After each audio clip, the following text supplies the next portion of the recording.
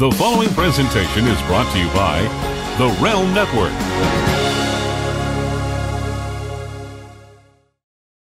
This is Vince Russo's The Brand.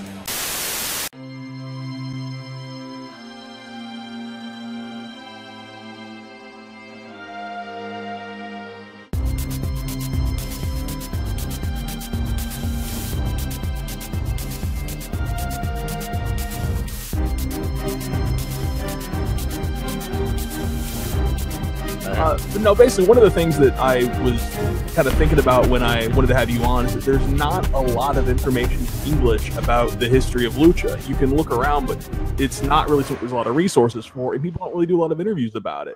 So you are probably one of the most prominent people in the history of Mexican wrestling. So obviously, you're the guy to go to. So since I had access, I figured I'd bring you on if you were willing to do it, which you were. So Yeah, uh, you uh, you were born in Cuba, correct? right.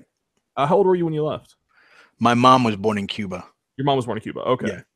I was born in uh, Cambridge, Massachusetts.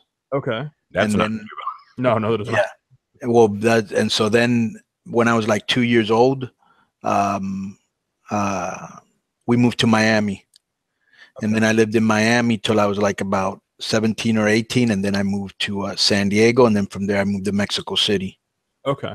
because I was in the military. Okay. What was your childhood like in Miami? You hear about the you you hear about the the the tough areas in Miami, and I've been to Miami, but I don't know what separates the the Badlands from the the good lands. Uh, where were you raised, and and how did you get through living in Miami for 15, 16 years? Well, I um, let me see. The first place that I lived was in a place called uh, Carroll City. Do you know MVP, the wrestler? Oh yeah, Yeah. mhm. Yeah, he's from the same neighborhood I am from. Uh, so that was a predominantly mostly black and uh, Cuban neighborhood. Then we moved out of that neighborhood and to uh, predominantly Cuban neighborhood and um, uh, Puerto Rican. And basically, um, it was right around the time that you know the the coke thing just exploded into Miami Mhm. before they even knew where it was coming from, how to stop it. Um, nothing. They had they didn't know what was going on, and Miami was just flooded, you know, with a yay. And so I came from that era, and so that was one of the reasons I basically had to leave Miami and get into the military, you know, at a very young age because uh, things were very dangerous at that time down there. Now, how accurate was Miami Vice? It was one of my favorite shows uh, in the '80s. yeah Uh, that's it's like it's you know like movies glorify everything mhm. um you know i mean in mexico i met a lot a lot of cartel dealers and yeah they live a, an incredibly lavish life but they're always on the run. They're always afraid. They always have people around them. They're not sure if somebody's going to turn on them. You're not sure if you being in their presence you're going to get you know Right. ambushed by somebody else. It's a and they all know they're going to die. They're like well until that day happen until i get captured until i die i'm going to make as much money as i can and hook up my family. You know what i'm saying? Oh, and that's kind of like their mentality That is awesome. Um, I have seen Scarface probably 30 times. Me and Cornette went to see it at the theater probably four times just so we could count how many times the F bomb was dropped. My son has never seen I've never Scarface. seen Scarface. Yeah. Oh, bro, come on! That's one of the greatest movies ever. Yeah. That that that that you know a lot of great lines in the movie. I mean, great lines. Like there's a there's a line that Cubans say a lot, which Al Pacino says in the movie. And Al Pacino does a great job of doing a Cuban accent, just Yeah. a perfect Cuban accent. And uh, you know, he the Cubans always say, you know, I only got two things in this life: my word and my balls, and I don't break them for anybody. And he actually uses that line in the movie, and I pop. And so you know it's kind of roughly based on the life of a guy that actually did exist and and you would see that you know i mean imagine here you are one day you're you're at school you're failing or you're not doing that good or you don't have good enough grades to go into a good college whatever and everybody around you you know has nice clothes has a car you know you don't have to really say you know what was your last job? We need a recommendation from your last job. You just need a recommendation from somebody that works there and say hey this guy's trustworthy. And next thing you know you're making a lot of money. But of course like everything else you know you're always living in the same uh, paranoia you know somebody going to turn on me what if they catch somebody from our group is he going to tell on me um, you know uh, just the same thing so it, it's it's a very risky violent usually short life because you know, not many people stay in the game for long without being caught. Well, now that you've put over Scarface, maybe Right. now I, you'll finally will watch check it. it out. Out of curiosity, you said that you had to join the military at a young age to get out of the, uh, Right. the cocaine epidemic in Miami. Was Right. that because you were involved in it, or to avoid getting involved in it? Yeah, well, I was never like a like a yayo dealer, and I was never a gang bang. I was just like a hustler. Like I could always get whatever you needed. If you wanted a gun, if you wanted, you know, back then the Quaaludes were like the you know the big you know thing that everybody wanted back then. If you wanted a little yay, I could get you some yay. You know what I'm saying? So I could get you whatever you needed. You know, Yeah. and uh, but it was just a lot of a lot of people that I looked up to were getting locked up or were getting shot and I was like, it's a matter of time before something happens to me too. You know what I'm saying? So I need to get as far as I can. So I got into the military. You know, I joined the Navy boxing team, and then while I was on the Navy boxing team, I got hurt. And when I got hurt, I got sent on a ship. Okay. Um, one of the things, and this isn't actually a story about Cornette putting you over. Dad, Right. We were having dinner at a Ruby Tuesdays not long ago, and this Yes, is going to segue right. into some uh, older lucha stuff. But Right. Dad was talking about how we were talking about Mexican wrestling, and Dad said, "Well, you know, who was as over as you know Rock and Austin in Mexico?" And uh, Jimmy said, "Well, you know, Vampiro and Konnan were on that level, but there was guys even above that." He says, "You know, those guys couldn't get close to someone like Mil Mascaras." Right. Mil Mascaras jumping on a trampoline. This was Jimmy's exact quote. Couldn't pop a pimple on the ass of El Santo, which Right. uh, was hilarious.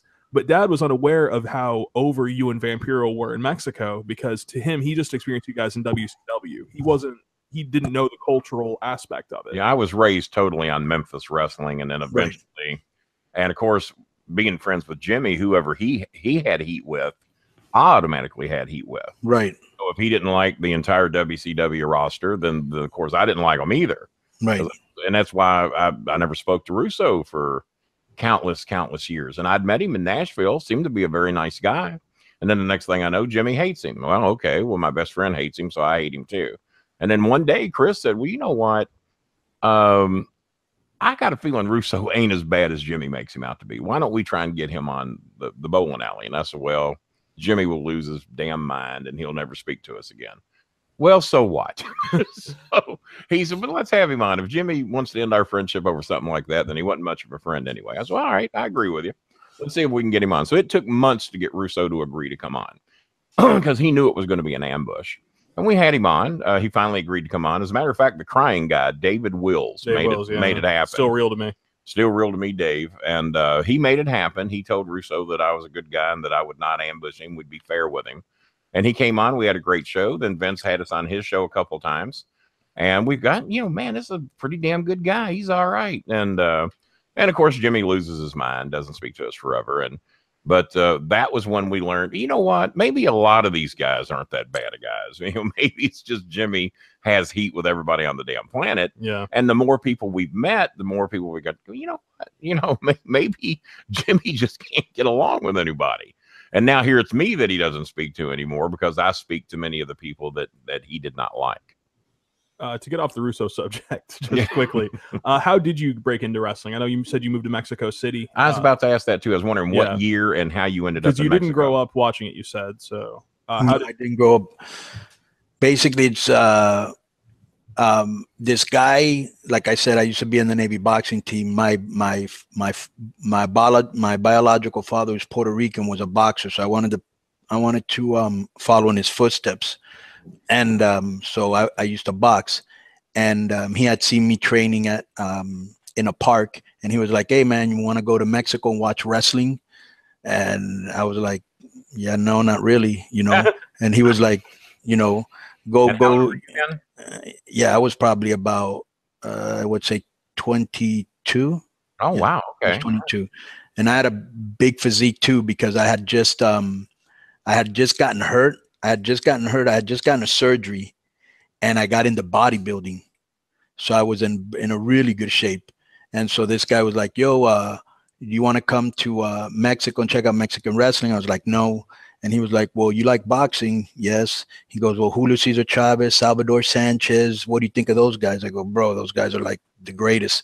He goes, Well, come watch Mexican wrestling. And so um, he goes, It's the greatest wrestling ever. And I don't know. I just guess something about it. Oh, this is what it was. So then the guy went to his car. That's what it was. The guy went to his car and he comes out and he shows me a belt. And he goes, Yeah, you know, I'm the world champion. And I was like, oh, Okay. And I was like, um, and he had like a limp. And I was like, um, uh, well, what happened? You know, and he was like, yeah, I got into a fight in the dressing room and my legs messed up, but I'm going to be back soon. And, you know, just like Kenny says, you kind of size up a guy. And I was Yeah. kind of sizing him up and I go, I'm pretty sure I could probably take this guy, you know. And so uh, he goes, and he's a world champion. I think I could be one. So we went to uh, to Mexico, and that was just, you know, it's nothing. It was nothing like American wrestling. The fans were more rabid. Oh, There was 70 times more high flying, you know, the cool mask and the capes. It was like a barrage of all these great things at the same time, you know. And then, you know, I was just like, wow, this is really cool. And so um, we went into the dressing room. And like I said, I was kind of like a bodybuilder back then. So I was much bigger than any guy on the, any of the Mexican wrestlers. So this promoter was like, uh, um, this guy that, um, the guy that has shown me his belt, he tells the promoter, "Yeah, this guy's wrestled before." And the guy turns around and uh, the guy says, "Don't say nothing. Just say you've wrestled before." And he goes, "Where have you wrestled before?" Well, I wrestled in Miami. And he was like, "Oh, really? Who did you wrestle?" And I just remembered wrestlers from Miami, and I told him. He goes, "All right, you're booked for next week." Wow. I was, wait a minute. I was like, I was like, what? Yeah. I So- didn't realize that Konnan's a bigger liar than I am. and I've Yeah. lived lies for 50 years. About but what- then but it didn't really turn into a lie this guy kind of put me on the spot and i had to kind of like help him out Wow. and so he was like yo so i was like well what am i going to do when i hit the ropes what if i fall through the ropes and the people laugh at me he goes no just go in there and just knock them out like a regular boxing match and i was thinking well, why, why hasn't anybody done that before you know i mean like you know what i'm saying so to make a long story short we get to the we get to the arena and he had actually put me in the first match as the incredible hulk and I was like, I got, I, I was like, bro, I got nervous. I was like, bro, I don't know what the hell I'm doing. And I kept thinking, what if I go through the ropes and everybody laughs at me? So I said, look, I'm not going to go up there unless you bring me to, to train. So he said, all right. So the next Monday, he brought me to train, and Rey Mysterio Jr.'s uncle, Rey Mysterio Sr., yeah. was an actual world champion at that time. And he saw me and he goes, Are you the guy that said that you wrestled in Miami before? And I go, Yeah. And he goes, Who do you wrestle? And I go, Well, I really never wrestled anybody. He goes, Why are you going around making up a lie? oh, I go, well, because my manager told me to. He goes, Manager, how many how many matches have you had? And I go, None. And you have a manager? And I go, Yeah. And I go, Yeah, it's the world. I go, Yeah, it's the world champion, John Roberts. And he goes, Who? And I go, Yeah, right over there, John Roberts. He goes, That's not the world champion, that's a fan. So Oh, a fan, some oh. fan had worked me that he was like a world champion, you know, and just to get me to go to watch a wrestling match, and that's exactly how I got into the business. that is one of the damnedest stories I've ever heard about in my about life. what year was that? This was like 88 or 89. So in 88 or 89, it would have been UWA and EMLL would have been the two major companies, right? Right. UWA. Right. Exactly. Yeah. And and I never got in professionally until I got hired by Nick Gulas in '87. So Right. you and I are pretty damn close. Right. We're contemporaries. Only I didn't tell Nick Gulas that I'd managed Nick Bockwinkel. Right. Yeah. Well, I, bro, I didn't even expect to go there to wrestle Wait, either. I just went there as a What got me fan. hired. What got me hired is I told him that my two best friends in the business were Jerry the King Lawler and Jimmy Cornette, and uh, he says, "Well, I can see a little bit of Jerry Lawler in you. I'm going to make you the next Jerry Lawler." I said, "Well, I prefer to talk and manage." I said, "I don't know if I want to take those bumps every night all across the country." And he, all right, well, I could use one of them too. So he hired me and gave me my start, and then eventually I ended up helping Jimmy out in Smoky Mountain a little bit, and then got hired by Danny Davis and stayed there for 18 years, and then I re- retired from OVW and just been doing podcasting since about 2000. Oh, what, about eight, I guess, 2008. That's when Thereabouts, we yeah. started. And uh, that's, you know, um, but, but I love your story. it's great because I was wondering how it got from the point to where, yeah, I wrestled in Miami and you named all the guys you'd wrestled to. I need training. Yeah. wondering how it got from that point to the next point.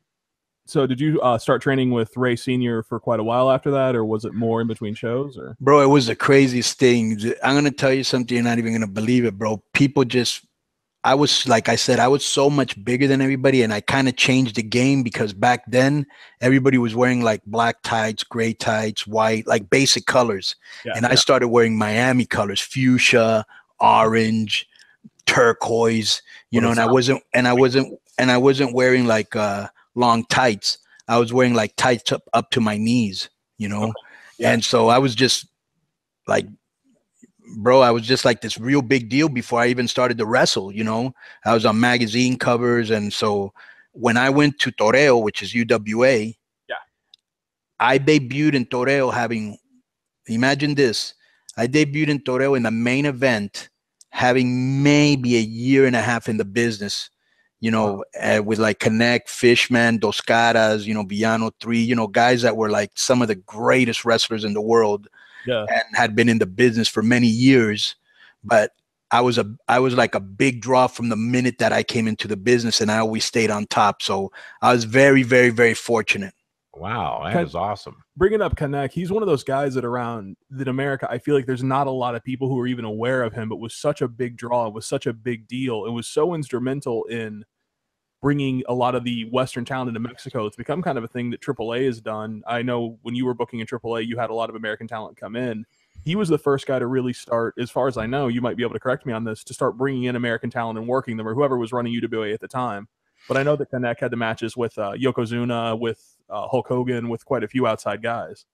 Yeah, well, CMLL had always, you know, CMLL was the first company, and they used to bring in a lot of American wrestlers back in the day Yeah. because that's, you know, that's mainly mainly where Mexican wrestling really came from, American wrestling, where it had been seen in El Paso, and um, uh, but what happened was since the Mexicans were like smaller in stature and in weight, they invented like their own quick, fast style. But um, uh, CMLL had always brought in Lou Thesz and a whole bunch of other guys, but Canek, you know, UWA was the first one that started to bring over like Inoki and Fujinami and Bi- Big Van Vader and Andre the Giant and Hogan and all that. And all of them were just basically for Canek the beat, you Yeah. know? And Canek was doing that as a Rudo, correct? Yeah. And so it was very hard to get over on Canek because let me tell you something that he would do. When I was a baby face and he was a heel and I would go for his belt, you know, the people would always be cheering for him. And I was like, Jesus, this guy's supposed to be the heel.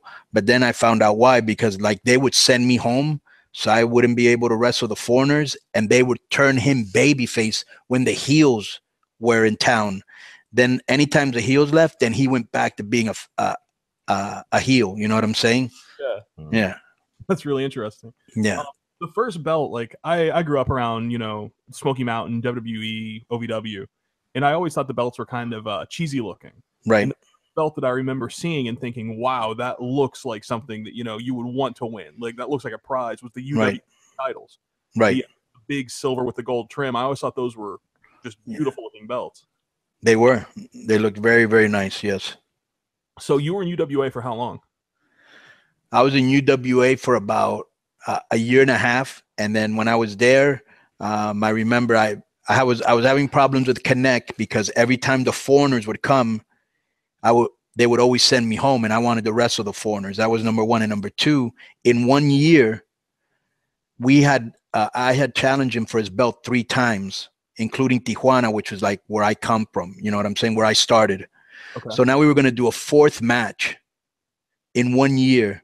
And a couple of the wrestlers are like, look, if he beats you again, you know, it's going to hurt you a lot. You've already lost three times and you've still maintained your drawing power. Four times in one year, he goes, you know, uh, you know, you can't lose again. So I went and they said that um that it would be a draw.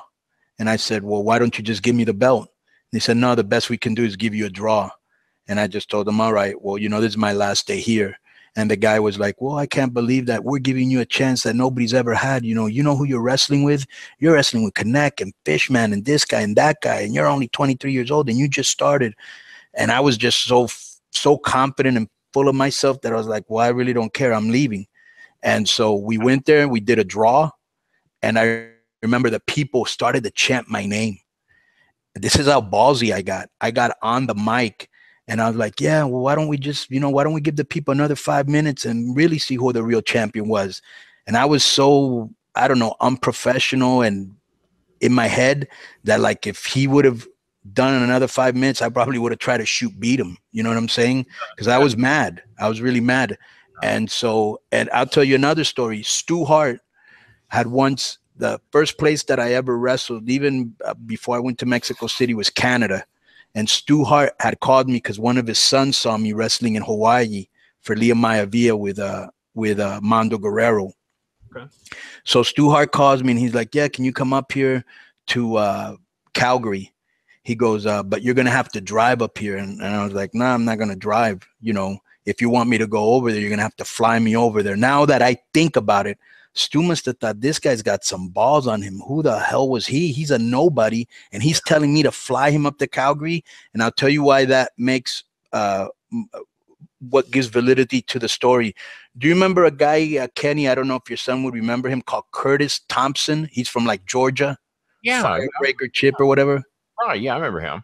All right. Well, he was in Calgary. All right. And he told me he drove his car from Georgia to Calgary. Oh my. Yeah. Oh God. So you know Stu must have been thinking this guy's got a lot of balls, you know what I'm saying? And uh, and you were just 23 then. Yeah. See, when I got in, I was 27, and it Right. took about seven years to develop any type of balls whatsoever. Right. Up to promotion and tell them what you thought. So yeah, it's pretty damn impressive. Yeah. And so then from there, Arena Mexico, I went to Arena Mexico and I got very lucky because TV had been deemed violent and wasn't on, uh, wasn't, they weren't showing Mexican wrestling for 35 years. Yeah. There'd been no wrestling. It was deemed too violent. I got to Arena Mexico just as they got the TV back. And that's when the big explosion of Vampiro, Konnan, Octagon, Perro Aguayo, you know, this humongous explosion. I was getting ready to ask when you got tied in with Vampiro because uh, Jimmy really puts over uh, just how big the two of you guys were over there. Yeah, bro, Vampiro was so over that. Now imagine this. I've only maybe seen this with Matt, uh, with Jeff Hardy, maybe. I don't know if there's another guy, but where girls are coming to the arenas dressed like you. Yeah. Oh my God! No, That's that's other level popularity. You know I what I'm didn't know saying? they were doing that with Matt Hardy. That's Jeff wild. Hardy, With yeah. Jeff, Jeff. Yeah. The armband. Weren't- you know, with the band and the. But I'll tell you why, because I went to TNA once when I was in TNA, like in 2006. Uh, Matt, you know, when they would come out of the, when they would come out of the TV tapings, the fans knew like where the wrestlers. You know how it is. The fans always find out, like the hardcore fans, like where Yeah. your car is and where you got to go through to get to your car. And there'd always be like a whole bunch of fans waiting for Jeff. They were dressed with the with the armband. They had their face painted, you know, their hair, whatever color he had it. And then he would go over there and they would sing his songs together. And I was like, wow, that's some other type of popularity. You know what I'm saying? Yeah, that that fans knowing where the cars is apparently goes way back because that that was how I met Jerry Lawler. We'd Yeah. hang in the back alley and then we'd see where the wrestlers would park at. But uh, the heels were such heels back then. Sam Bass spoke to me probably a year before Jerry Lawler did, uh, and he was the heel manager. But uh, he was actually pretty um, uh, intermingling with the fans back backstage or back in the alley, waiting for the wrestlers to go in. But uh, Jerry held pretty uh, status quo until Jimmy Hart actually introduced me to him long before Jimmy Hart ever started managing Jerry. Right. So Arena Mexico at the time, that would have been E EMLL, correct? Right. Uh, how long would you say in EMLL?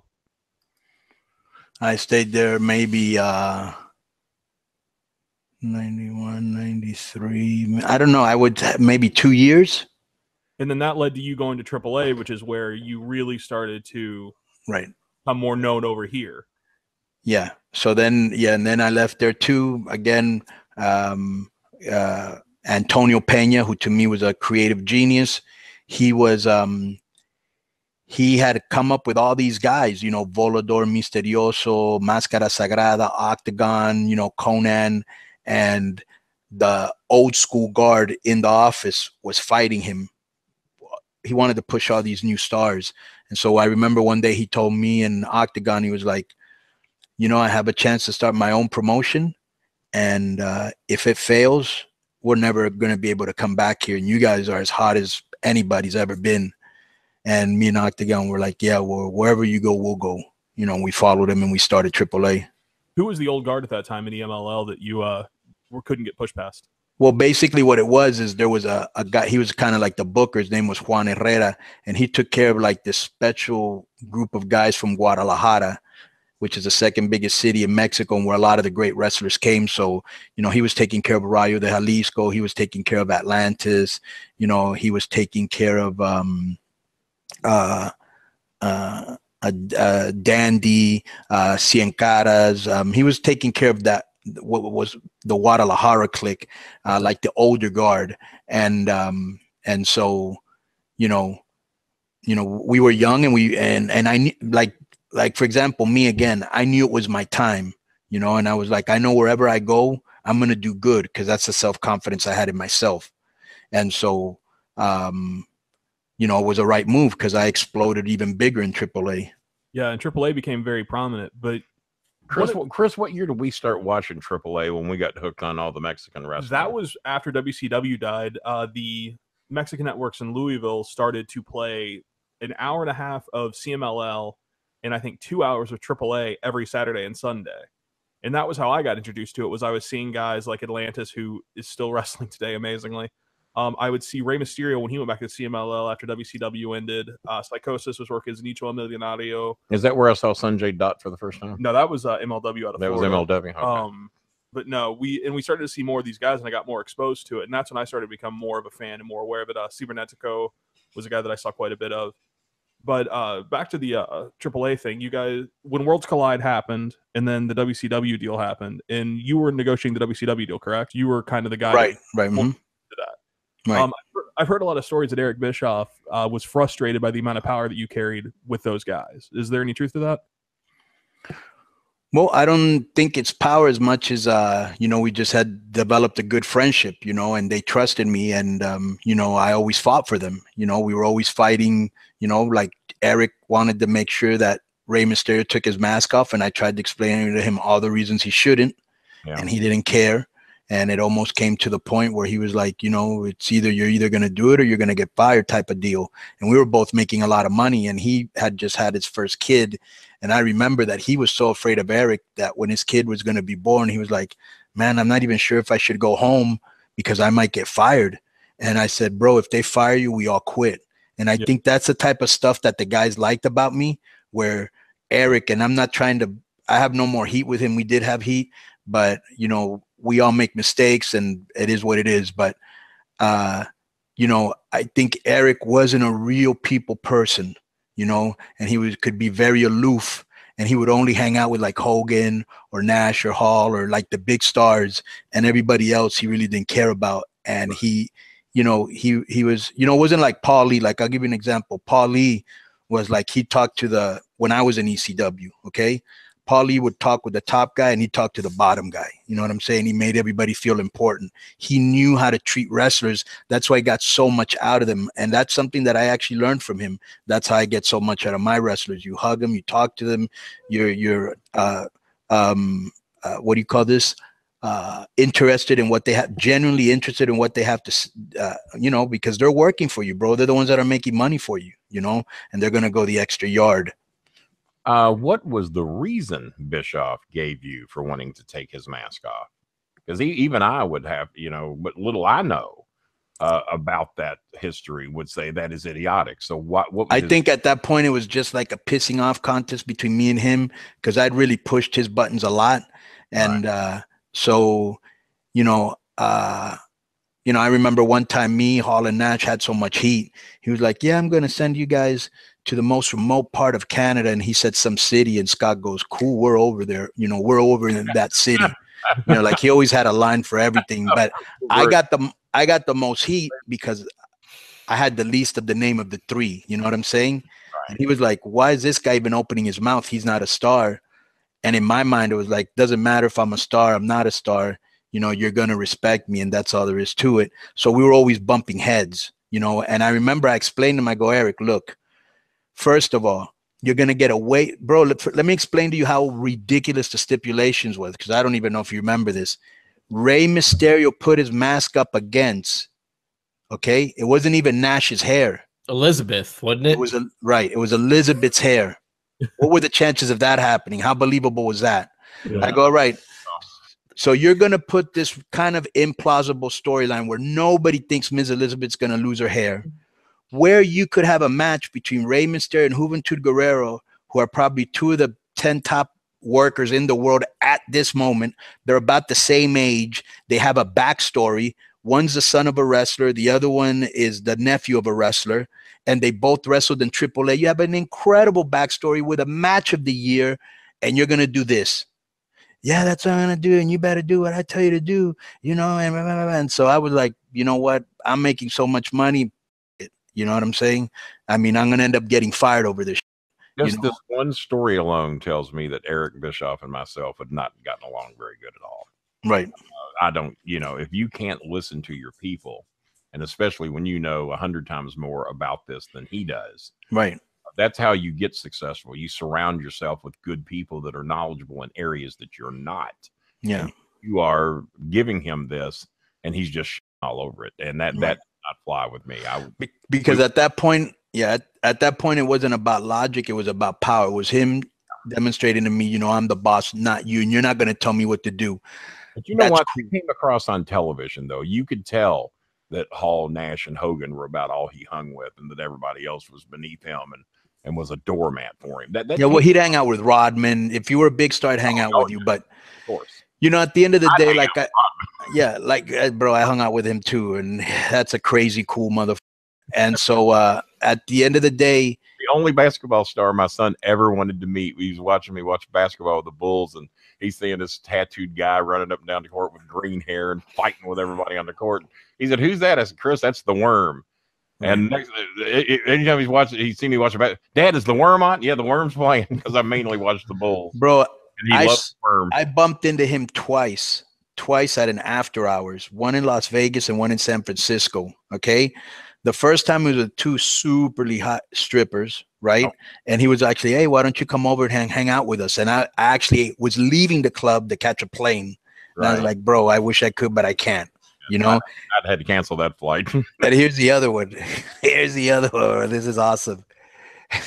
he was at some like was some sort of fetish festival club, something like that no, and he the was he he was with a i'm not kidding bro he was with at least a six foot five like tranny you know what i'm saying but looked like a woman but I looked know like what a next woman is. Yeah. Yeah, it's six Yeah. five. Yeah. Holy Of mackerel! Yeah, worm, worm, worm wasn't too discriminate. nah but he's a cool dude Uh, as a matter of fact, he got over with us. We saw him on the Jay Leno show, and Chris and I, the first nice headphones we ever had were called Monster Diamond Tears. But we didn't really see celebrities pushing them or anything. It was just something that we just discovered by accident. Very good and, a, and a sponsor bought them for us. They were like three seventy nine a set, held eight years ago. And so we thought we were the only three people that had them, the three that were doing the Bolin Alley back then. And I'll be damned if the worm doesn't show up on the Jay Leno show and he's got on a pair of black diamond tears just like Chris wears. Not plugged in anything. He was just wearing them as jewelry around his neck. he wore them around Kim Jong Un, which I thought was very Yes, and he wore them around, and uh, and of course he's uh, Kim Jong uh, just uh, loves and adores the worm. He can go over there and have a meeting. he ain't afraid to go to north korea and just get superly drunk right Oh, Yeah. oh, can you imagine the stupid stuff he does when he's drunk in North Korea, but yet lives to get on a plane and come home and talk about it? Never winds up in the salt mines. Name me another human that could pull that off.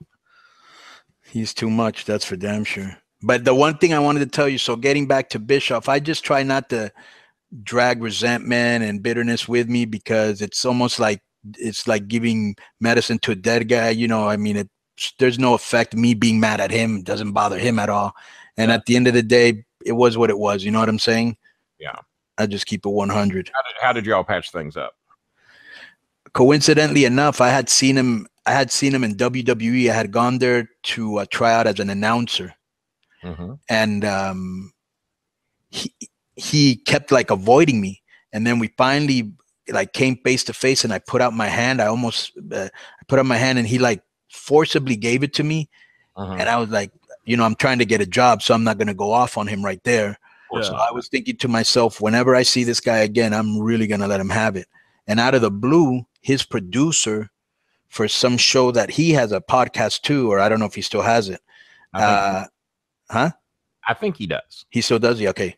So the producer just reached out of blue and he goes, "Yeah, Eric wanted to know if he could be a guest." And I was thinking to myself, I'm not gonna ambush this guy, but if he in any way, any way starts anything, it's about to go down and like really go down. And uh, but he came on the show and he was a gentleman and he was respectful. So you know, I was cordial with him too. You know what I'm saying? And I just let it go at that. By any chance, did you see the table for three with him and Cornette, and who was the third one? Um, Hayes. Michael Hayes. No, I- I did not. Uh, it really came. Is that the one where they bury Russo? Yeah. Yeah, they bury Yeah. Russo on there, and that was supposedly how Jimmy and Bischoff patched up their differences, is because they both hate Russo. Right.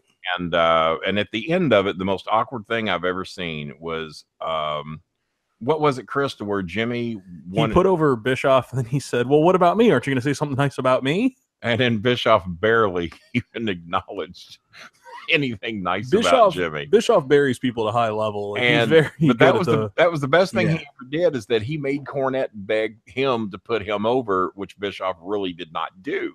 And I called Jimmy. I said, Jimmy, you made yourself look like a little bitch trying to get the begging Bischoff to put you over. You made the sad mistake of putting him over first, and now he doesn't have to put you over because you you've already stepped out on the plank. The- the- Right. you were in a no-win situation. So is there some sort of heat between Bischoff and Cornette? There not was, not anymore. there was for years, but I think it's oh, it's this thing went on. Oh, he hated Bischoff as bad as uh, Russo. It was Bischoff, Russo. Name them, Chris. You know them all. Bischoff, Russo, the guy in Tennessee that he ran over. Um, yeah. Wasn't he a wrestler? He was a wrestler. I can't think of his name though, but he ran Uh, him over. Landell. It was a Yeah, uh, The chick from Dairy Queen, yeah, the chick from Dairy Chick Queen. from Dairy Queen. Um, one other. Austin Aries. And Santino. Uh, Kevin Santino. Owens, Red Rooster.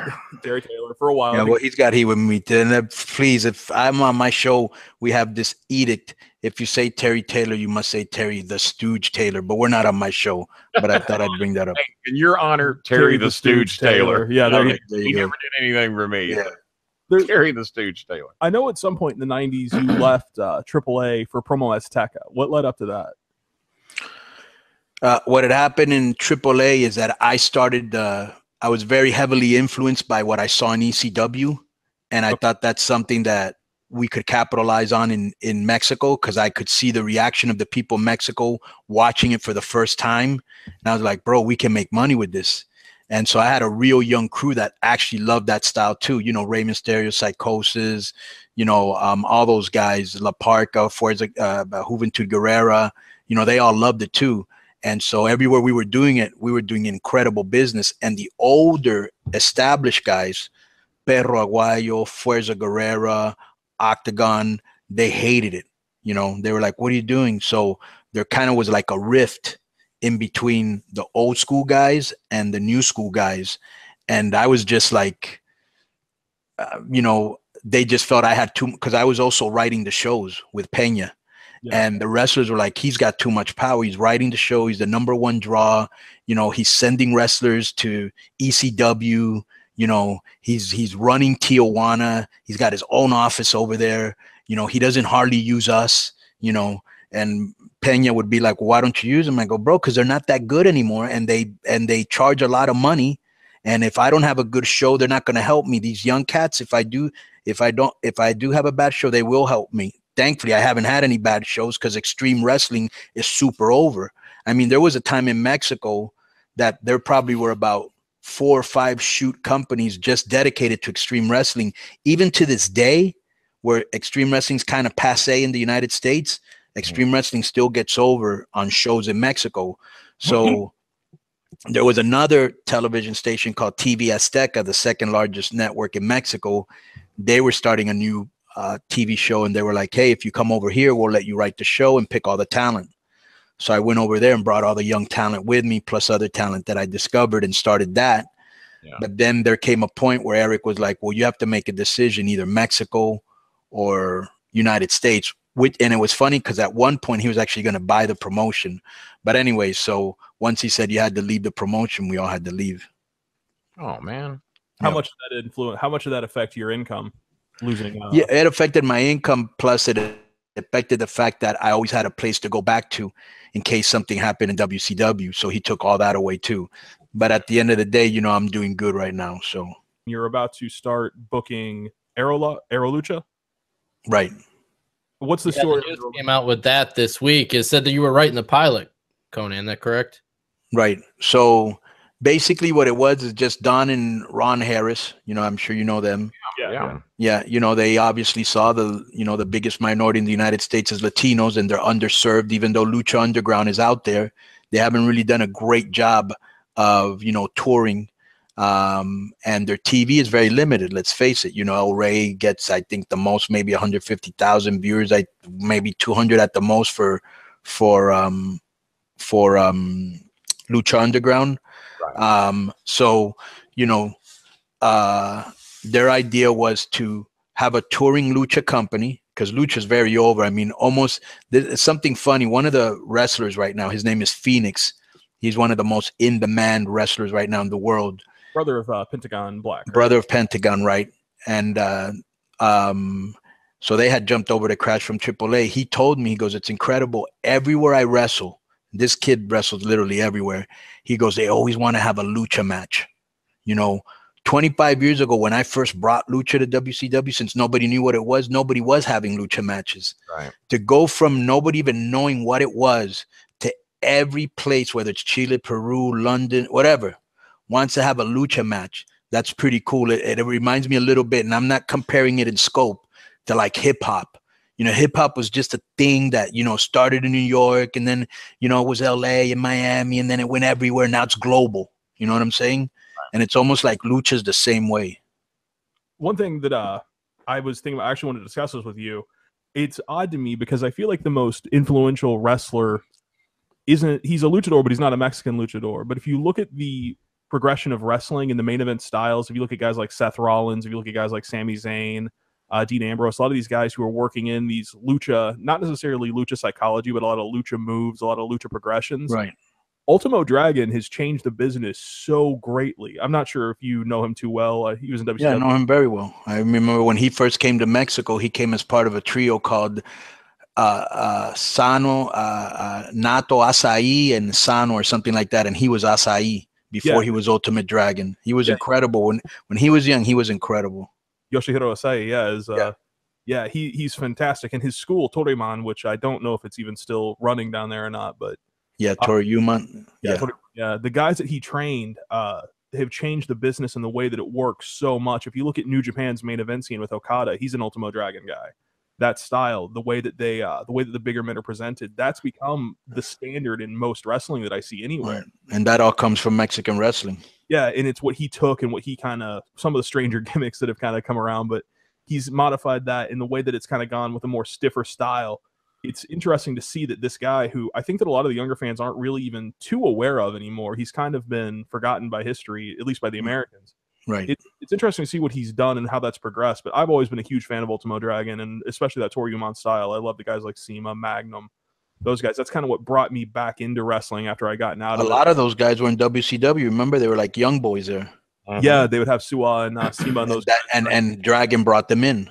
Yeah, and uh, Tokyo Magnum teamed up with uh, Right. So, yeah, like Tokyo brought his young guys and I brought my young guys. You know what I'm saying? Except for Yeah. the Villanos who weren't young, but um, you know, but I brought my young crew too. I have I have a question for you. This has been just I've always wondered this. Uh, you remember when Jericho left WCW and they made the big monster debut on on Monday night? Right with the Rock. Tell me this. Um, what did, to my knowledge, Juventud Guerrera is the only person to have his name mentioned on Raw that didn't work for the company, Right. Uh, or, or at least not from a past sense. So currently Right. working somewhere else. What did he think about having his name dropped on that show by The Rock that night? oh my God, eh, bro! Have you ever met Juventud? I have not. All right, you must have him on your show. He's Oh, one of a kind. Yeah. One of a kind. Put- Um, put in a good word for us, and I'm that would be Yeah. a I'd love Chris to and I would yeah. love to have. Yeah, yeah. Uh, but how how did he handle? And so, well, I'll tell you exactly how he handled it. From then on to this day, Yeah. he doesn't do it all the time, but he'll he'll he'll grab the mic and he'll say, "Finally, the juice has come back to," and he'll say the city that you're in. He's awesome. Oh Lord, the uh, Yeah. now is he is he still working today? Yeah, yeah, Yeah. he's still a great worker. Yeah, him and him and Rey and Psychosis to me, they really, really revolutionized, you know, high fly wrestling, and I'll Right. put Eddie Guerrero in there too. Oh God, I loved Eddie. Eddie come down and helped us out a lot at OVW. And you talk about a class act. Uh, uh, I loved Eddie. He was a damn Yeah. uh, sat in the locker room with, with who, like you said, from the top to the bottom. Nobody was too low, nobody was too high, and uh, asked other people their ideas. Uh, if he was going to work a match with one of the OVW boys, he got their input, and was just an ultimate class act. And man, I really miss uh, the interaction with him. I didn't know him real well, but every time he was down here, man, he was a class act. Yeah, Yeah. Eddie was special, one of a kind, as a person and as a wrestler. Yeah. I can't argue with that. I always ask this question to people who come on who have been in a position like you are of kind of promoting and booking. Who do you think are some of the guys that should have made it in America that didn't? The the Mexican talent who should have gotten over over here but never really got a shot or didn't get what they had to. Juventud should have gotten over. You know, uh, Psychosis should have gotten over. I mean, really, truly, some of the greatest workers to me that have ever come out of Lucha Libre, they should have definitely gotten over. I think uh, Silver King should have gotten over. La Parka should have gotten over. La Parka, Um, yeah, one of my favorites. One Yeah. of my yeah. And so, guys that never even made it to WCW, Negro Casas is one of them. Yeah, He's so sharp and smooth, even to this day. And he's been around for a long time. His Yeah. Are just so Bro, you needed to see him when he was young. He was on a whole nother level. Um, Fuerza Guerrera, Juventud Guerrera's dad, when he was young, was on a whole nother level. The bumps he took were ridiculous. Nobody in the United States was taking those bumps. La Fiera, another guy who passed away, he was taking ridiculous bumps. Jerry Estrada was incredible. There was a lot of guys. It's almost like imagine, imagine if Rey Mysterio and Eddie Guerrero would have never come to United States, you would have never even known they existed. Yeah. Well, there's a lot of guys like that that never made it here. You Mm-hmm. know, now now with the social media, now you know nobody gets left behind. You know what I'm saying? Now it, you know it's pretty hard if you're real talented to stay hidden. Uh, why, why do you feel Juventud never uh, was just Bischoff didn't believe in him and just didn't get the opportunities, or what do you think? Well, no, he didn't believe in none of the cruiserweights because you know Chris Jericho, Eddie Guerrero, they Rey Mysterio, they all had to go to WWE to be a star. That just proves that no matter what you say about Vince, he knows what a star is. You know, because he's the, he's made more than anybody else. You know what I'm saying? So. Well, He did try. He did try to cut uh, John Cena, though. He, he he did not see Cena with any talent and wanted to let him go. Yeah, well, I could see that at the beginning. I wasn't a big John Cena fan either. You know what I'm saying? And he, and he never, I, I never, he never resonated with. I was more like in, he never resonated with me. But then again, the I'm not his demo. You know what I'm saying? Like Right. his demo were like you know, young kids. You know what I'm saying? when he and- got here, he, he was a heel with Rico Constantino. Right. He got here. I just didn't see any way he could possibly miss, and that was and that was still based on very limited wrestling ability. Right. I thought his promos and personality were going to carry him through. It's not like Hulk Hogan was known for being the world's greatest wrestler. Right. I thought personality in that alone, and and and not often that me, Cornette, and Danny Davis always agree on a talent, but from day one we looked at each other and said, you know, th- this guy's just waiting for the day that he becomes a multimillionaire. He's uh, he's got it made. when you have an eye for talent you know you know it. You know what i'm saying? You know when the per- because i even i even think to myself bro imagine what and imagine uh for example like when vampiro first arrived in mexico and pena was really the guy that pushed him. You know pena's probably thinking now here's the thing. Pena was uh, homosexual okay? So he was real good at finding guys that knew that he knew not just women would like, but other guys would like. You know what I'm saying? And so he saw something in Vampire that not even I saw. You know what I'm saying? And so um sometimes when you get somebody like a John Cena and you have somebody that has an eye for talent, you can already see a couple years ahead and go, all right, with a couple more years maturity, uh, you know, getting, you know, getting some time and rate with his promos, learning how to wrestle. This guy has all the tools to be a stud. You know what I'm saying? Let me tell you three others that come to mind, and maybe Chris can think of some others that Jimmy and Danny, or especially Jimmy, because it was mainly his input I got. He did Who's Jimmy? not Cornette. Cornette. Cornette. Cornette was booking OVW Right. And he did not think that Johnny Nitro would ever see a day in the WWE. He did, he did not think not Johnny Nitro had talent, which I thought from the most of the time he got here, he had the it factor. He might so not have, athletic. he might not have had the size, but athletically he. But didn't they didn't they start that MNM thing there? Mhm. That Yep. was under Heyman. yeah, okay. Heyman, Heyman developed that, didn't Yeah, that was under That- Heyman, my yeah. bad. It might have been under Al, but it was under Al. Tony And uh, that was a good gimmick, bro. The paparazzi and the Oh, rolling red carpet and the and the and the fur coats and the girl in the middle. I don't know that anything down here got over any bigger than that. Chris, can you think of anything? it, it wouldn't have been much. They were they were on top down here. They we everybody was and it was them. one of the few things that we developed here that they kept full intact there, Yeah. which blew us away because that rarely happened. yeah Because normally they would tinker with it and screw with it, and then whatever it was when it got there was not what it was here. Right. Uh, but another one was Paul London. He didn't think Paul London had an ounce ounce of talent. Nigel McGuinness, he didn't like Nigel. I always thought Paul London had talent. Even I had I had gone to wrestle for Ring of Honor. Yeah. Uh I'm talking maybe 2005, 2006, and I saw him there, and I was like, you know, Yeah. I told Gabe, I go, this guy's very talented. I told him AJ Styles is very talented. one of the biggest pops that Chris ever had because Chris really uh, just being raised in the business and he's, he's been in wrestling rings since he was six weeks old. Um, the only people that I ever saw him just really mesmerized by meeting, and you're going to love the list here. Right. The first time that he got to meet Stone Cold Steve Austin, Steve took Right.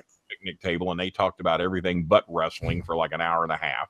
Right. Right. He's like the biggest star ever, him and The Rock. I love Yeah. Steve; he's great. Uh, then he got to meet the Undertaker for a period of Right. time back back when it was the original casket and the gloves. Right. the original Undertaker that we all know. That- Best gimmick ever. Oh, and yeah. then and then the other time that just blew him away, I never saw him melt more than he did in his life. Is when I walked into the living room. I said, "Chris, I have somebody I want you to meet," because I'd heard him talk about him a hundred times. And I said, "Chris, this guy wants to go to dinner with us tonight. Is that cool with you?" And he just died that Paul London was in our living room. He loved Paul so much, and we got to be very dear friends with him, and, and just loved him immensely. Yeah, I He was probably I was probably 14 at the time when that happened, and it was like I had just kind of gotten into indie wrestling and figured out what it was, and Paul was the guy that kind of got me watching that. Paul and Chris Daniels. Yeah. Oh my. And that was the other guy that Chris went to meet. I didn't get to see this meeting. Yeah, I had Who was it that set up the tickets mm, for us that night for you to go? Uh, Pen, not Penzer. Uh, No, no, no. no, I- the the I- promoter down in uh, down in the I- original TNA. I feel days. really terrible about it. but I can't think of his name. I can't think of it either. But uh, I the should. guy who he was the guy who helped promote Asylum shows in TNA. Bert Prentice. Bert Yeah, Prentice. Bert Prentice. Yeah, Thank yeah. you. Thank you. Glad somebody could remember his name. Jeff Lane out of New York with a save. There you go. But no, uh, when Chris got to go down to Nashville, I stayed home for this one. But Chris got to go down and meet Chris, uh, Christopher Daniels, and that was the that was Chris probably is a super cool dude. oh, uh, and he treated Chris like He did. that He night. really did. Yeah, I uh, I had been watching a lot of the Japanese Toryumon and Michinoku stuff, seeing the uh, Japanese lucha, and I'd seen Curry Man a lot, and I was just so in awe of this gimmick. Because in America, you had him doing this ultra serious, you know, evil priest thing, and then over there, he's just this nut in a mask, and I I loved it. I loved the gimmick so much. It was phenomenal to actually get to meet him at that age. Curry Man was my favorite. Oh, Curryman that, was that, that was my favorite. That's a great all. gimmick. Oh yeah, And uh, it wasn't it Nigel McGuinness that saved you in Chicago from being Yeah. stranded. You, you, we did, you didn't know him. He only knew of me. yeah. He uh And then when he said, "You're Bolin's, you're Kenny Bolin's uh, son," no, I'll, I'll give you a ride home. And yeah. that's how we got to be friends with Nigel. Yeah, some Canadian friends of mine ass. had a family emergency and couldn't drive back to Louisville. I rode up there with them, so they had to go back to Toronto, and I was stranded in Chicago. And McGuinness gave me a ride home. God bless him. Never Kind met man. the man in his life. Kind And, uh, man. yeah, so and that's how we got to be friends with Nigel. And then we tried to infiltrate him into OVW, and Jimmy had him thrown out of the building because they heard that he had worked for Ian Rotten. So they had him thrown out of the building.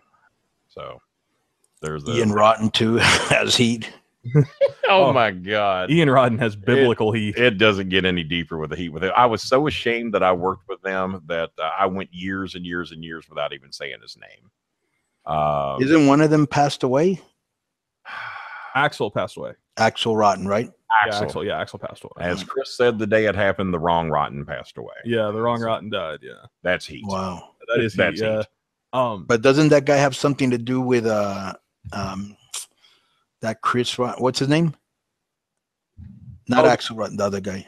Ian Rotten. Ian Rotten. Isn't he in CZW? No.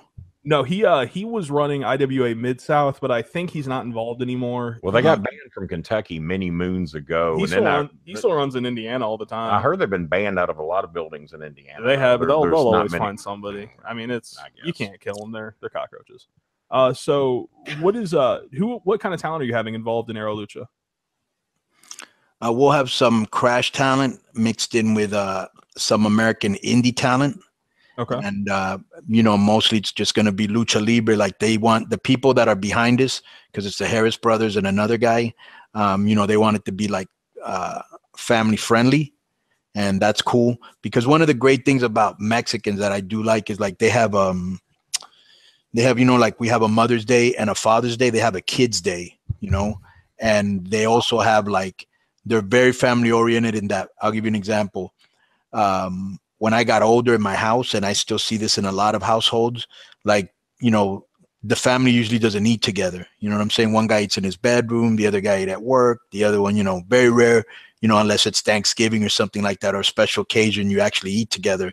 Where Mexico, it's like every day, everybody has to be at the table and eat together. So, like when they go to the shows, it's very common to see the mom, the dad, the kids, and the grandparents. You know what I'm saying? even to this day when i go to matches i'll have it's you know i'll have the granddad and the dad you know telling the kid that they watched me you know what i'm saying?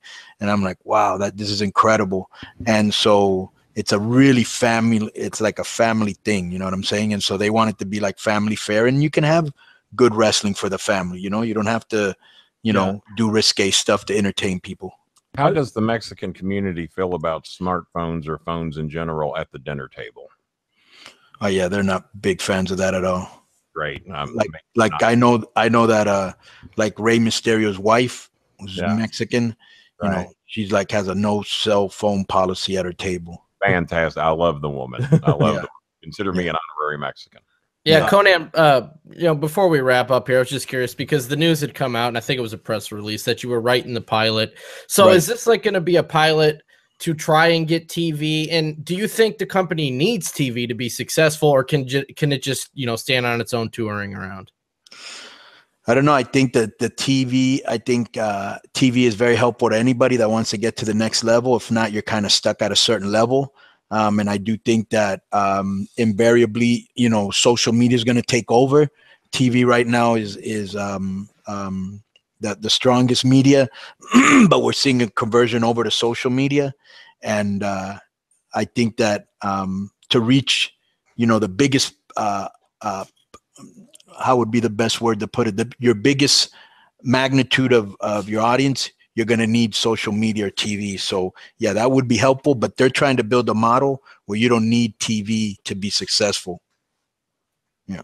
Well, it seems to be working for musicians. Musicians uh, used to be you had to have that record label or you couldn't make it. Right now, they do it touring.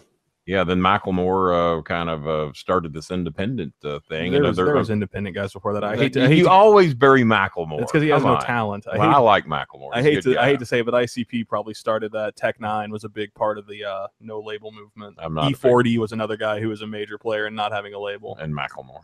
No, no. ICP did an incredible job of that. But so the good, that's a good one, bro. E40. How would you know about that? I uh I uh I'm a big hip hop production nerd. I uh Right. I wonder where I found him at yeah times. yeah yeah. I Yeah. uh, I love a lot of uh, hip hop production. I like I like beats. I like kind of figuring out who's producing what. I was a huge fan of NERD. I think Pharrell Williams has become hackneyed and sold out. I out. love I love Happy. Yeah, bro. He just became commercial. I'll give you an example. I'll give you an example. Pitbull, Cuban Mhm. from Miami. If you listen to his early shit, it's Oh, yeah. raw, badass gangster shit. And 2000 now 2002. Yeah, he was a totally different musician. Then he started doing all that. all this I pop didn't bullshit I didn't Yeah, really know a it's- Pitbull until he started performing with Usher. yeah, it's- with Ne-Yo and Usher and Calle Ocho and all that, and it's like he just went commercial. I- I'm Yeah. a I'm a big Usher fan, so I kind of got him by by default. one of my favorite rappers out of Miami recently in the last couple of years is a guy named Ghost Rider. He's Yeah. uh he was on I like Ghost Rider. I've, I've was- heard a lot of stuff. he was on that I uh, like. Poe Boy Hiram, uh, same as what's his damn name? Uh, Flo Rida. Didn't he talk? Right. Twitter here a Yeah, while back? yeah, I talked to him a little bit on Twitter. Like that's another guy, Flo Rida, to me is turned commercial, bro. yeah, completely, completely. Well, see, his commercial stuff is the only thing I know of. Yeah. So, but, but I But like that's what makes him the money, bro. They're making big, big money. Like I met early on in his career, he was a big wrestling fan, Daddy Yankee. He used to go to Puerto Rico to the shows, and he's super commercial now. Oh, Oh, yeah, yeah, he, he was a, he was a big featured act on a couple of the WWE shows, if I remember correctly. Flo Rida was. yeah, Uh, yeah, I want to hear his opinion on. You think he's the greatest uh, of all? Uh, uh, Kanye. I think Kanye's the greatest producer of all time. Overall, I How think, do you feel about that? Yeah, he's a great producer. I don't know if of, of all time, but he's a great producer. For all time, you know, you, better than Quincy Jones, Oh, I love Quincy it would be Jones. better than better than Prince. I would put him on the same level as Prince just for the influences on music. If you listen to the first three Kanye West albums, Right. I hate to actually say this because the first three I think were revolutionary. The way they took the soul beats and kind of modified them. I Right. think nobody was thinking about that. But I think that when you go to 808s and Heartbreak, the fourth one, I think that that's the one that has been aped so much in so many other people's music. You hear it in so many different genres. I hear it in, I hear elements of it in country. I hear elements of it in pop. It's been stolen that 808s, that down tempo, that methodical drone kind of music. I hate that that's the one that really caught on, but that's been his most lasting impression. What was our big argument, Chris, about who uh, was a bigger deal in music, Michael Jackson or Kanye West? no, I said who's had more lasting in who has impressed upon music more. I still say Michael Jackson by a landslide. you don't hear a lot of the progressions of Michael Jackson's music. You don't hear the vocal styles outside of a few guys who are trying to steal his style, basically. Uh, Weeknd has copied Michael Jackson, but we- Yeah, uh, as a matter of fact, I thought he, that's what he was trying to do. Was but if you Michael don't have, Jackson when but if you first listen to Weeknd without Daft Punk producing him, he's not nearly the artist that I wouldn't even put him over as being part of that Michael Jackson movement. He needs such a strong production to sound like anything. Yeah, I don't know. Michael Jackson was just to me more of a total performer. You know what Yeah. I'm saying? he was a greater performer than Kanye. I don't Yeah. think anybody that's a greater performer than Michael, but to say that his musical style has lasted longer, I, I can't give him that. There's not a lot of people doing the thriller style of music, of doing the That- what, bro? Because that's like that's 30 years. That's like 30 years old. yeah, exactly. It, it hasn't really hung in. I mean, and Kanye Yeah. might not last that long now, but the world I live in now is certainly Right. heartbreak influence. And I'm also a diehard, and I just went to their sold out concert in Louisville last year. Uh, Christopher's uh, wife uh, took me. Um, Earth, Wind, and Fire. How do you feel? about Uh, yeah, one of the greatest groups that ever ever existed. First of all, incredible horn section. Oh, Second of all, great Afro-Cuban beats. oh, and third- performing with Chicago. Right. Yeah. Oh, that's awesome too. We'll get to them in a second. Thirdly, I'm just going to say one name, Philip Bailey, and then I'm going to say another name, Maurice White. And that's all you need to know about Earth, Wind, and one of the greatest groups that ever existed, Fire. And I'm also, uh, Chris says I have a man crush on Verdine White. Uh, now, before we get to Verdine White, what do you think of Earth, Wind, and Fire, Chris? It's not my style of music, but I respect them. Like I respect what they do. I think that if I was older, I would probably be able to connect with it more. Yeah. What it is, and I understand the influence and how great it is, but it's just not what I listen to in my tell, free time. tell him out the time how your 19 year old wife felt about being the youngest person at the Yum Center to see Earth, Wind, and Fire in Chicago and what her feelings were after leaving this group that she'd never really heard of before. like I said, she grew up in East Germany, so the musical taste over there is quite a bit different. But Right. she was bored by it. She had never really heard anything like that or seen that kind of uh how would I describe it? She'd never really seen that type of assembly of music, and she was so impressed and so floored by the guys at that age still performing at that level. And Konnan, I had not seen him, and I know Jeff's ready to kill me for how long we've gone, but uh, I had not seen Earth, Wind, and Fire live since the 70s. And then she Right. got great tickets for this show uh, through an attorney that she worked for. And I, I literally sat there with tears in my eyes for almost every song because a lot of the songs they did I saw in the 70s. You link them with old girlfriends or what have you. or they're just great songs that just bring back great memories. And I swear I sat there with tears in my eyes probably through 80% of the concert. Yeah, back then it was that. Especially. yeah. In Chicago, Probably- first record I ever bought, Feeling Stronger Every Day, was the first 45 I ever bought, and I played it so much I wore it gray. And then to see them blend with Earth, Wind, and Fire, which I saw at uh, the Greek Theater. Was Peter Cetera singing or no? Uh, w- back when I started following them, Peter Cetera was. Yeah, the- no, but when you saw him now, no. no, no, no, no. He was. Uh, uh, Peter hasn't been with them for a long time. Have that I- you? What do you think of Chicago, Chris? I'm really not even that aware of them. I haven't heard too much of their music. you know who they are, Jeff? Yeah, I was never into them. How about Earth, Wind, and Fire? Love Earth, Wind, and Fire. Let's Groove is one of my favorite like music One videos ever. Like that video is awesome. Yeah, the video's awesome, the music's awesome. Uh, but I like a lot of their stuff that didn't become hits. A song called "Running." I bet you know what "Running" is. Yeah. And um, uh, God, uh, Calypso. And from back then, you probably like the Commodores, right? I like the Commodores, but nowhere near to the level that I liked Earth, Wind, and Fire. I also liked uh, the Brothers Johnson. Kool in the Uh, gang. Strawberry Letter 23. Um, I uh, remember Strawberry Letter 23. And uh, that song to me still holds up to this day. I can listen to that song every single day. But the Brothers Johnson, uh, the Gap Band, I liked a lot back then. I was Right. a huge, huge KC and the Sunshine Band, Mark. They From were Hialeah, great. Hialeah, right? What a what a what a great sound! And that talk about a horn section and Oh, talk about a, a white boy with soul. Den- Denville Lit Trot was one. I got to meet him and have dinner with him at a casino here in uh, in Louisville, well, in Indiana. I believe it was in 2001, 2002, and only 10 of us got to have dinner with him. And he couldn't believe that I was naming all of his old horn section and his band members. And I said, by the way, I said, uh, Fermin Goytisolo, is he still with me? He says, you know the name Fermin Goytisolo? He said, he's still with me. He's been with me for 40 years. And, I, They had- and I got they to have a- with him too. Do They you- called him in. Do you like KC, uh, Chris? Uh, I like some of their music. He's pushed it down my throat so Yeah. much I I could not hear it again and be satisfied. It was always in the car. Yeah. I, I got burned out on them at a young age, but I do. It's I, almost like our boy Road Dog. Every time I got in his car, it was Elvis. I was like, all right, I kind of like the guy, but this is too much. yeah, And I- so now, what did your girlfriend think about Yeezy since she'd never heard him either? I had to introduce her to him. She didn't grow up. Oh, he wasn't big in Germany either? he was, but she Oh. wasn't a big rap fan. She got into that through Okay. me. She's come around to where now she adores him, and she like she I, does. I wear Yeezy shoes, like that's all I wear. He does. Um, but And everybody that we go out, whenever, whenever we go to dinner, everyone's looking at Chris's shoes, and I just don't get that. I don't understand it. Right. Oh. I'm I'm a big shoe guy. now, but- where do you get them from? Because they're expensive. Do you get them online? Maya was flirting with a girl at the New York Adidas uh, flagship in Fifth Avenue. It worked out good for you. Yeah, and I kind of started talking to her, and now I kind of get, I kind of get, a deal, as they yeah, say. yeah, I get, I get a hookup on them. I still pay more than retail, but not a whole lot. So, Yeah, well, that's good.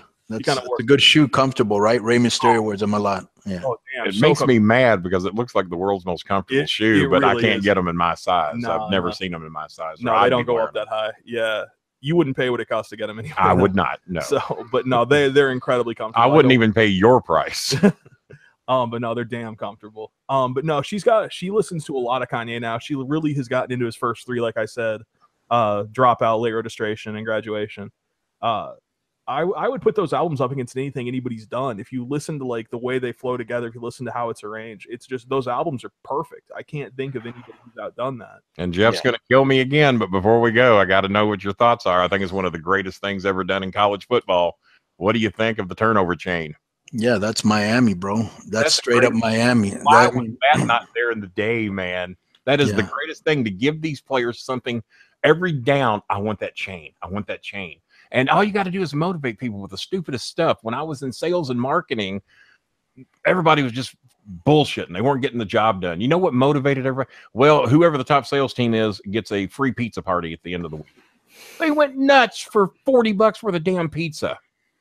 You just need something to motivate. And I think the turnover chain is the greatest thing uh, that I've seen in college football in quite some time. The, to motivate those players on every down, I want that damn chain. I, I would like to say that the greatest thing I've seen on the show is I, what is the little thing that's on your other side, Jeff? It looks uh says lost underneath lost. That That's yeah. that's Newman from Seinfeld. Vince got me that one year. You know what's pissing me off? I've got a house full of shit here. I've got banners and monitors, a rolling scroll that the the Chantel made for me. I've got everything, and he hadn't noticed one damn. I got a Miami Dolphin None of your stuff is on my weird. coffee. Well, Yeah, right. you got me there. You got me there. Konnan- and I know what your stuff is. I don't know what Jeff's stuff is. Konnan, No. there's one more question I wanted to ask you. One more guy. Yeah. We're talking about guys who Jeff Jeff has a gun to his head. who we now. thought should have made it. Um, the main guy that came to my mind out of Mexico, who I'm shocked never even got a look here, was Shocker. Uh, what do you think? I heard He you talk did get a look. He, he he did get a look. Dusty Rhodes had seen him in a Burger King commercial, right? I'm serious. Dusty Rhodes saw him in a Burger King commercial. Had no clue if he could work. but he had such a great look because he had like the Mexican bronze skin and Yeah. he had like platinum hair, Yeah. you know. I've And got to so- see this commercial. Yeah, so he brought him. He brought him to TNA, and after he brought him, he asked me. He goes, "Can this guy work?" And I go, "Yes, he can work." You know, and so Shocker, who when he was young was about as charismatic as anybody out there, and was a great, great worker, bro. You know, little by little, bro. I mean, he started to become irresponsible because he started to fall into some of the vices that a lot of guys have. Yeah. And I remember one day he didn't show up so they brought Alex Shelley in. I'll never forget this. They brought Alex Shelley in, who I didn't know had been trained by Skayde, who's Yeah, a great. was the dancer, right? Skayde is no Alex. That's Alex, right? Alex Oh. Shelley was the guy with the camera. Oh, okay, okay, yeah. Scott- Chris Sabin's partner. Skayde is. I'm glad you brought him up because he is so underrated. He Right. just He used to work for me in Promo Azteca, bro. So, anyways, so Skayde had gone up to I think to maybe Mike Quackenbush's place over there. Uh, what's that Uh, place called? Chikara. Chikara. Yeah. And he was training a lot of guys, and one of them was Alex Shelley. So Shocker had missed a show, and so they brought Alex Shelley in just in case he missed another one. And uh, and so he showed up late. I'll never forget it. And he went into the ring with Alex Shelley, and Shelley ate his lunch up, not in a disrespectful way, No, but yeah. just ate his lunch up. And he just, you know, started to get bigger, bigger into his vices till, um, you know, I don't know. Uh, I don't know if you knew that lately he had broken his jaw no. and he, he was wearing like this thing to kind of keep his jaw together. Like he's a wreck, bro. And he he he was just arrested not too long ago for like, you know, trashing a hotel room and like not paying a prostitute and like he's he's Wait, really taking a little You could be arrested for not paying a prostitute. yeah in Mexico, yeah, bro. All right, Man, that's that's a shame to hear. good, because good when I- thing to know. because when I Mm. first got in in about 2001, that guy he looked like he couldn't miss. He had the Yeah, he was great. he had the movements. He had He was great. Just phenomenal. I'm very sad that it's turned out that way. Jeff Yeah. Lane, did you know that you could be arrested for not paying a prostitute? Now, no, but I'm writing that down for uh, for future knowledge. Your vacation to Mexico. Don't- yeah, don't pay skip the over. prostitutes. Pay the prostitutes. Konnan or Jeff Lane goes on a shooting spree at his local grade school. Um, I think we need to end this thing. But man, it has been Yeah. such a pleasure having you on. I'd love to do this again sometime. One last thing, I want to see how deep into the culture he goes. now he has the gun and he's got bullets in it. Um, Nate Colbert, does that name ring a bell with you? Yeah, wasn't he a baseball player for the San Diego Padres? Padres, and he holds a record that's never been broken to this day. He hit five home runs in a doubleheader back in the 70s. And Yeah. somehow that has not been broken with all the people that have hit in four home runs in a game. Uh, Cincinnati Reds Scooter, uh, Scooter You ain't afraid to bring up like Dennis Miller esque trivia. You know, like well, Gary Templeton was a big star for the yeah, shortstop for the Padres. Tony Gwynn. I absolutely He and Vince love. grill each other about baseball quite a bit. Oh, and I, this I did not know until this week. Somehow I did not know that Michael Irvin's kid now plays for the Miami Hurricanes. Yeah. Yeah. Yes. That's how old I am. Is now the now the people I rooted for as kids have kids playing, and I'm still watching them on television. So with that, I guess we should probably let. Uh, Yeah, well, before you before you take us home, Kenny, Konnan's got to tell everybody about keeping it 100 and Impact. You're still with Impact. Everything you got going on there. Whatever. Yeah, Impact is on Thursdays on Pop TV. I'm on Konnan K O N N A N five one five zero on both um, Twitter and Facebook. Uh, I have a podcast called Keeping It 100, and um, my co-host is uh, Disco Inferno. And um, we always have every week we have Shane Hel- we have Shane Helms on the Hurricane. We have Juven- Juventud Guerrera, and um, who oh uh, we have this thing called the Masked Republic Minute where we talk about lucha with uh, lucha guy uh, Kevin Kleinrock, and we'll have guests from uh, now and then. We like to talk about you know everything from sports to TV to current topics to um, everything, wrestling, everything, and we just you know it's a it's a good time. Check it out. We've had Jeff Lane on before. We've had Vince Russo. We're gonna have to get you guys on in the future. Oh, we love, to, it. Love to. And you got Gertner on there now as well. Yeah, we got well, well, well Gertner on starting off the show. We had to take the snowflake out, KG, bro. well, now that I know Jeff Lane's been on, at least I don't have to be embarrassed about being a guest. That's Yes, You won't, Uh, be, you won't be the least over guy on the show. Yeah. yes.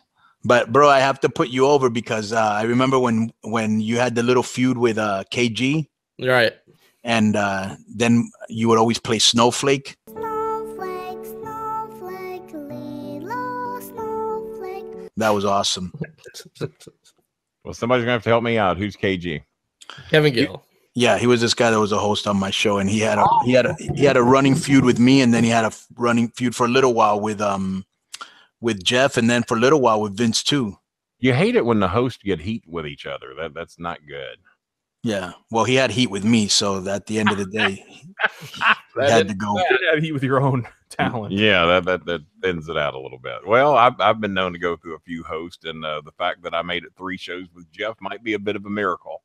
I'd uh, been through Five or six now, depending on all this this should be uh, episode five and six. So If you try to do graphics of all the random uh, older Mexican talent that Konnan and I were mentioning, Oh, this, this could be very fun. I will watch Yeah. it, see what you do with the graphics. Yeah. That- that- Hey man, you know a lot about your lucha libre. I'm impressed. Thank you very much for supporting something that you know I've dedicated most of my uh, life to to pushing because I always thought it was a I don't you know yeah it doesn't have much psychology, but it wasn't meant to. Uh, psychology is when you have a mask versus mask or hair versus hair match or something important. You know our belief, my belief has always been you know let the horses run, let the birds fly. These kids are young and they can do incredible stuff.